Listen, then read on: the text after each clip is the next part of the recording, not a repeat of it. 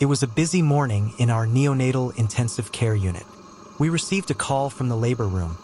A baby was about to be born, but the amniotic fluid was stained dark green. That's what we call meconium-stained liquor, or MSL. When we hear the word MSL, we know it's a red alert, because meconium in the fluid can enter the baby's lungs during or after delivery, leading to serious breathing problems. Our team rushed to the resuscitation area, ready with suction, oxygen, and warmth. Every second matters. Before we show you what happens next, let's understand what meconium is.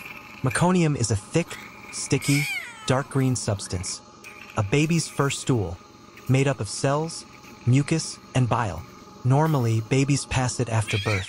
But when a baby becomes stressed inside the womb, especially if oxygen levels drop, they can pass meconium early into the amniotic fluid. When that happens, the baby may inhale or aspirate this fluid into their lungs, which can block airways and cause severe respiratory distress, a condition known as meconium aspiration syndrome. The baby was delivered covered in thick, green meconium. The cry was absent. The baby was floppy and not breathing well. This was the moment to act fast. Our doctor quickly placed the baby under the warmer, positioned the head properly, and began suctioning the mouth and nose, gently but effectively, to clear the thick meconium before the first breath. We used a DeLee suction catheter and connected it to gentle negative pressure. The first suction removed a large amount of green-stained fluid from the airway. After the first suction, we saw a small movement. The chest began to rise, but the baby still wasn't crying loudly. The doctor continued gentle suctioning, removing more thick, sticky meconium that was blocking the airway. Then, after a few seconds, the baby gasped and finally let out a weak cry.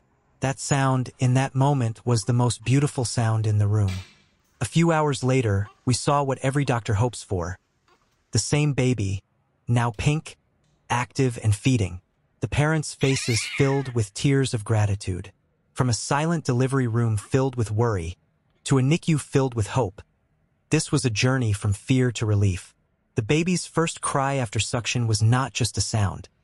It was a symbol of survival of life and of the dedication of the neonatal team. Meconium-stained deliveries can be dangerous, but with the right steps, quick suctioning, proper resuscitation, and continuous care, most babies recover completely. If you're an expecting parent, remember that regular antenatal checkups and delivery in a well-equipped hospital can make all the difference. For healthcare professionals watching this, Always be prepared for MSL cases. Early anticipation and teamwork save lives.